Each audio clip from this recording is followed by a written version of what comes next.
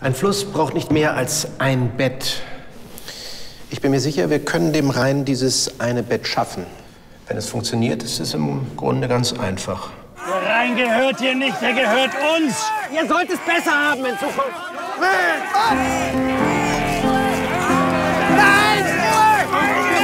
Nicht schießen! Ich habe Ihre Denkschrift zur Rheinbegradigung gelesen. Ihre Arbeit ist für Baden von höchster Wichtigkeit.